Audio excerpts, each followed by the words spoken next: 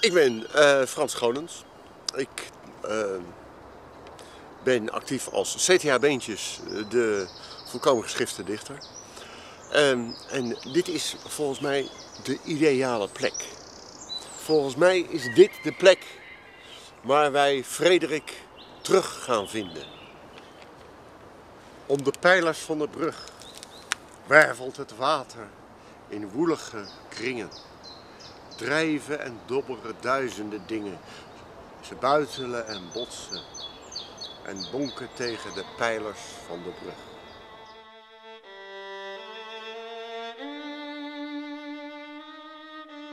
Ik ben Axel Staps. Ik uh, vertegenwoordig tegenwoordig uh, theatergroep Paradox.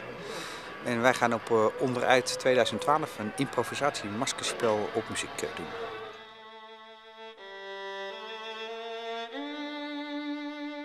Ik ben van de groep Teddybeer. En wij gaan afsluitend op de eerste Pinksterdag een optreden verzorgen voor het festival. Ja, ja ik ben ook onderdeel van Teddybeer. Ja, en wij komen eigenlijk uit een beetje harde punkrock hoek uit het verleden. En, we hebben nu een omslag gemaakt naar hele rustige muziek. De andere kant van het spectrum. Dat is voor ons een uitdaging. Ik denk dat de locatie wel uh, heel erg past bij het genre muziek wat we neerzetten. Akoestisch, in de polder, rustige omgeving, mooie luistermuziek. Een hoop mensen die erop af kunnen komen om daarvan te genieten. De naam, Willem van Maassen. Uh, zijn discipline, um, singer-songwriter in dit geval. Eigenlijk gewoon muzikant en liedjeszanger. Het is een, uh, ja, ik vind het heel aantrekkelijk en vooral dat het lekker kleinschalig kan zijn, niet ingewikkeld, niet groot. Uh, krukje neerzetten, instrument stemmen en spelen. Dat is toch wel een beetje het, het fijne ervan. En nog wel kijken wat de respons is. Nou, mijn naam is Siem Eikelenboom en ik ga onder de naam Simon ook uh, Ierse liedjes brengen hier. En daar heb ik ontzettend veel zin in. En ehm, ik heb een uh, vriend bereid gevonden om uh, daarin mee te doen. We hebben gisteren een nieuwe band opgericht, speciaal voor dit, voor dit festival. Genaamd Krippel ook.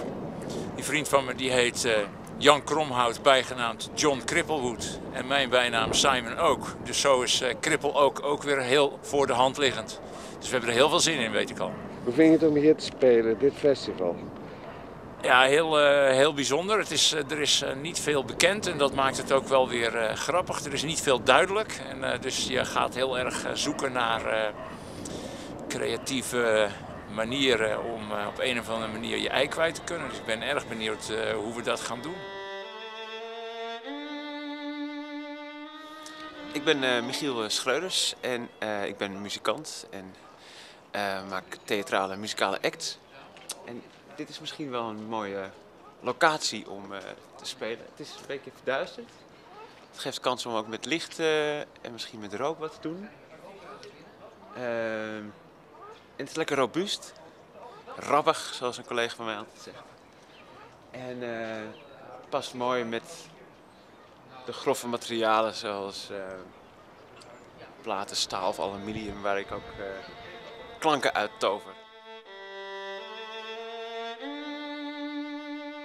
Meneer Roggeveen, de Bosca, Paul Bouter, let op de naamgrap. Wij zijn van plan om, uh, dat is onze tweede locatie. Moet ja. nog even aan Klaas uh, vermelden. Ja, we maken improvisatie locatietheater. Als Roggeveen en de Bosca. Yep. Zo is het maar net. En dit is een prachtige locatie. Enorm inspirerend. Ontzettend mooi decor, zoals je ziet.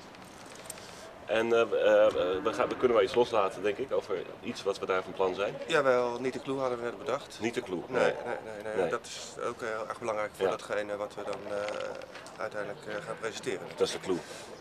De clue, ja. Auto, lichten aan, s'avonds. Ja. Man, net gescheiden of in scheiding liggen. Ja, enorm dronken. Nou, enorm dronken. Hij is hier verderop in het café geweest, twee boerderijen terug. Ja. Ja. En ik heb iets in ieder geval van huis meegenomen wat heel erg dierbaar is uh, van de vrouw in kwestie. Ja. Wel straks uh, scheren, dat hadden we al bedacht. Hè? Dat je... Ik speel de vrouw ook. Ja? Dat wist ik nog niet. Oké, okay. nou, ik weet niet of je er klaar voor bent van je met die... Uh... Ja, nou, ja, dat moet wel lukken denk ik. Oké. Dus eh, nou dat, ja, dat het, is, het, is het, verhaal, ja. het is het verhaal van de liefde, Romeo en Julia, het verhaal wat hier bestaat over deze locatie. Amalia en eh eh, eh, Fernandes heette die geloof ik. Frederico, iets met een F. En eh, dat steken we in een nieuw jasje. Ja, en het wordt, het wordt eh, van tijd tot tijd eh, beangstigend, maar soms ook grappig. En ik denk dat we daarmee het verhaal van het hele festival flink onderuit halen.